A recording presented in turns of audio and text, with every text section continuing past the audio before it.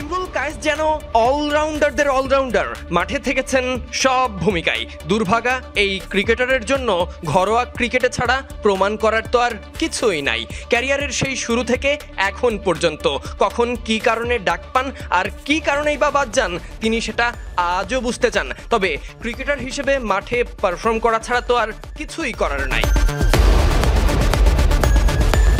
শুরুতে যেটা দেখলেন আর কি, চলমান এনসিএল খেলতে সিলেটে। ইমরুলকে দেখা গেছে ব্যাটিং, বলিং, কিপিং এবং ফিল্ডিং, সব ভূমিকায় ইমরুল দায়িত্বশীলতার পরিচয় দিয়েছেন, যখন যেখানে সুযোগ পেয়েছেন। সব থেকে সিনিয়র ক্রিকেটারদের একজন। ইমরুল বরাবরই দলের বিশেষ প্রয়োজনে। যখন যেখানে ডাক পড়েছে, সেখানেই নামতে হয়েছে। কখনো ব্যাট হাতে, কখনো কিপার গ্লোভস হাতে। কখনো দুরন্ত কিপিং করে, কখনো বা বল হাতে হাত ঘুরিয়ে।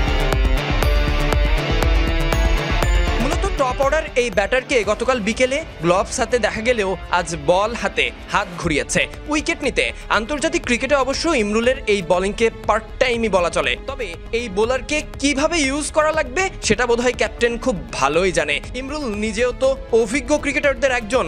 বল তুলে নিয়েছেন নিজের হাতে। বল করেছেন উইকেট তোলারই চেষ্টা করেছেন।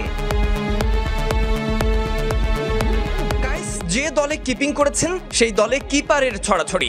এমনকি দেশ সেরা কিপার বলা চলে যে ছেলেটাকে, তিনিও ওই দলে। খুলনার অধিনায়ক নুরুল হাসান সোহানের কথা বলছিলাম, তবে তিনি ছিলেন ইনজুরিতে। মাত্রই সেরে উঠে খেলতে নেমেছেন এনসিএলে কিপিং গ্লোভস থেকে তাই কিছুটা দূরে সরেই থাকছেন। আছেন এনামুল হক বিজয় আর খুলনার মূল keeper মিঠুনক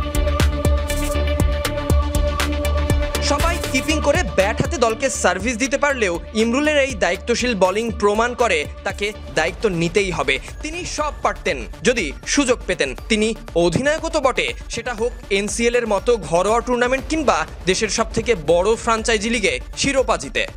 Sadiq Ahmed, Sunny, BD Crictime.